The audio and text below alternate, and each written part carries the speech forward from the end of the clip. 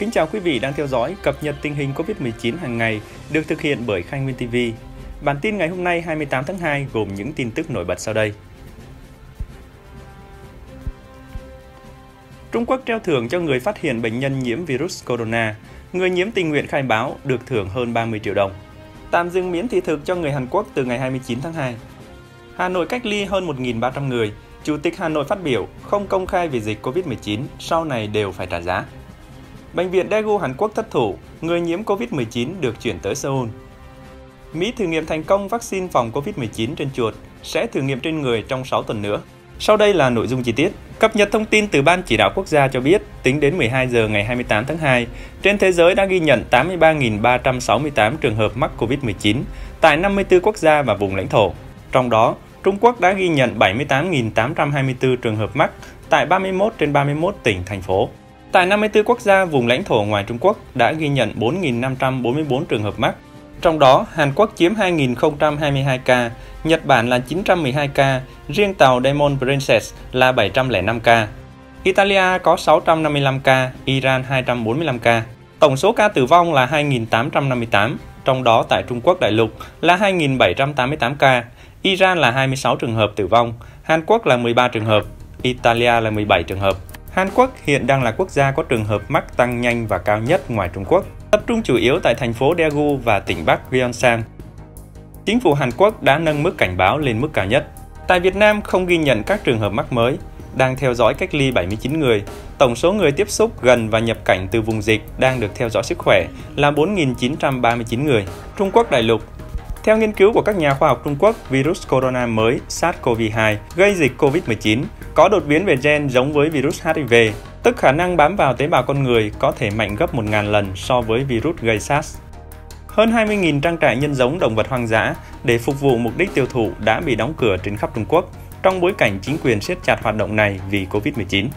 Thành phố Tiềm Giang thuộc tỉnh Hồ Bắc vừa thông báo sẵn sàng tặng thưởng tối đa 10.000 nhân dân tệ, khoảng 1.425 đô la Mỹ cho những ai trình báo với chính quyền về người có triệu chứng nhiễm virus corona. Trong trường hợp người có triệu chứng tự trình báo và được xác định nằm trong diện nghi nhiễm, mức thưởng được nâng lên 2.000 nhân dân tệ, khoảng 284 đô la Mỹ. Nếu kết quả chẩn đoán cho thấy người tình nguyện xét nghiệm đã nhiễm virus corona, họ được thưởng mức thưởng tối đa là 10.000 nhân dân tệ. Trung Quốc đã bắt đầu tiến hành kiểm tra virus corona của các thành viên nhóm Tân Thiên Địa tại nước này. Riêng ở tỉnh Hồ Bắc, có khoảng 200 thành viên Tân Thiên Địa. Việt Nam Trung tâm Phòng ngừa và Kiểm soát Dịch bệnh Mỹ CDC đã đưa Việt Nam ra khỏi danh sách các nước có nguy cơ lây nhiễm COVID-19 trong cộng đồng, tạm dừng miễn thị thực cho người Hàn Quốc từ ngày 29 tháng 2. Sáng ngày 28 tháng 2, Ban chỉ đạo phòng chống dịch viêm đường hô hấp cấp COVID-19 đã họp dưới sự chỉ đạo của Phó Thủ tướng Vũ Đức Đàm, trưởng ban chỉ đạo. Tại cuộc họp, căn cứ vào diễn biến tình hình dịch bệnh trên thế giới, các thành viên ban chỉ đạo đã bàn bạc các giải pháp liên quan đến công tác kiểm soát người nhập cảnh, đặc biệt là công dân các nước có dịch đang lây lan mạnh trong cộng đồng đến Việt Nam và người Việt Nam từ các quốc gia có dịch về nước. Thứ trưởng Tô Anh Dũng cho biết, theo đó, công dân Hàn Quốc vào Việt Nam với thị thực phù hợp do Việt Nam cấp. Đây là giải pháp Việt Nam áp dụng tạm thời để ngăn chặn dịch bệnh. Quyết định này chính thức được áp dụng từ 0 giờ ngày 29 tháng 2. Chủ tịch Hà Nội không công khai về dịch COVID-19, sau này đều phải trả giá. Trong một cuộc họp về phòng chống dịch virus corona COVID-19 mới đây, Chủ tịch Ủy ban Nhân dân thành phố Hà Nội Nguyễn Đức Trung đã đề nghị các cơ quan chức năng phải công khai các thông tin về dịch COVID-19. Do tình hình dịch bệnh diễn biến phức tạp, Hà Nội sắp quá tải khu cách ly, do đó ông Trung cũng đề nghị truyền thông nâng cao mức cảnh báo về dịch COVID-19. Tại buổi họp của Ban chỉ đạo phòng chống dịch virus corona COVID-19 của thành phố Hà Nội vào chiều ngày 26 tháng 2 vừa qua, Chủ tịch Ủy ban Nhân dân thành phố Hà Nội ông Nguyễn Đức Trung đề nghị phải công khai, minh bạch về dịch bệnh virus corona COVID-19. Ông Trung lưu ý các cơ quan chức năng của thành phố Hà Nội không công khai, không minh bạch sau này đều phải trả giá hết. Ông Trung cho biết thêm, rút kinh nghiệm những nơi đã xảy ra dịch virus corona COVID-19 trên thế giới, sự chậm trễ của chính quyền, của cơ quan dịch tễ sẽ gây ra hậu quả khôn lường. Theo ông Trung, Hà Nội có nhiều nguy cơ lây nhiễm COVID-19 vì đông dân cư và có lượng người di chuyển từ vùng dịch về rất lớn. Hà Nội cách ly tập trung hơn 1.300 người, 1.342 người đã được cách ly tập trung tại trường quân sự Sơn Tây, Trung đoàn Pháo binh 58, B59 Xuân Mai và Bệnh viện Công an thành phố. Trong đó, trường quân sự Sơn Tây thu nhận 752 người, Bệnh viện Công an thành phố 77 người.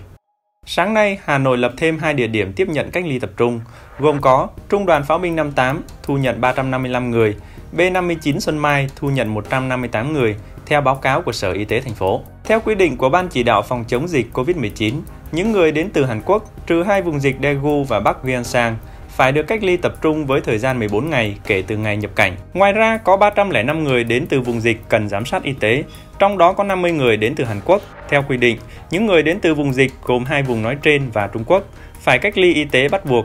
Hiện có một người đã bị nghi nhiễm nCoV, được cách ly và theo dõi y tế chặt chẽ. Thành phố Hồ Chí Minh có 220 trường hợp đang được cách ly tại bệnh viện gián chiến ở huyện Củ Chi, 13 người cách ly tại các cơ sở của quận, huyện. Hiện 2.964 trường hợp cách ly tại nhà nơi lưu trú đã hết thời gian theo dõi, chỉ còn 54 người. Thành phố không còn trường hợp nghi ngờ mắc bệnh, 46 ca trước đó đều xét nghiệm âm tính.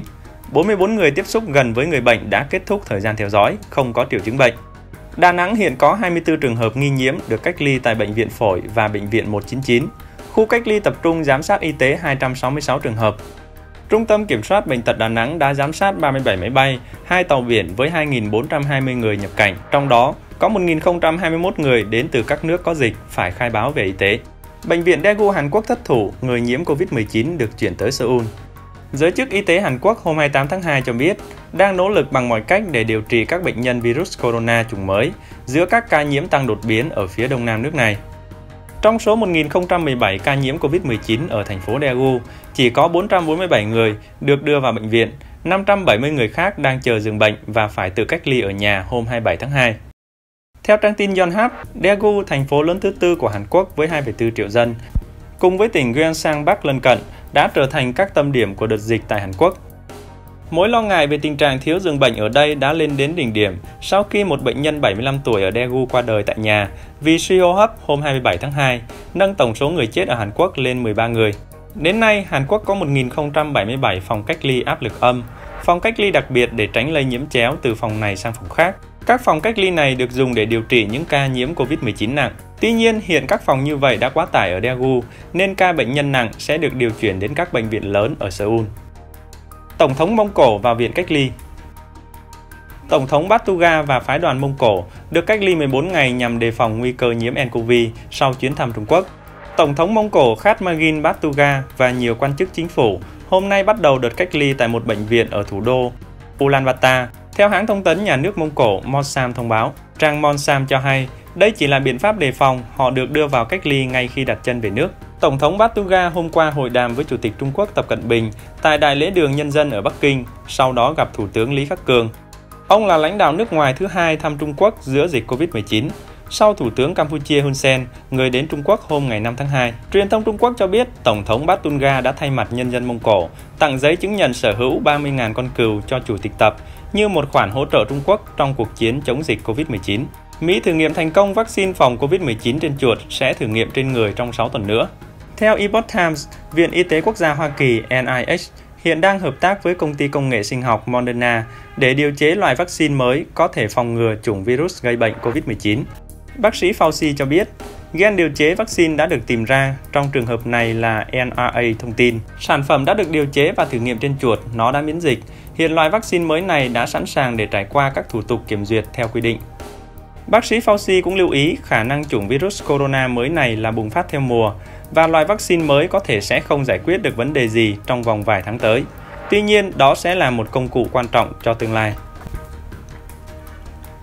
Cảm ơn các bạn đã theo dõi chương trình cập nhật tin tức COVID-19 hàng ngày của Khai Nguyên TV. Mong rằng trong tình hình diễn biến phức tạp của đợt dịch này, quý vị hãy chú ý giữ gìn sức khỏe cho bản thân và gia đình.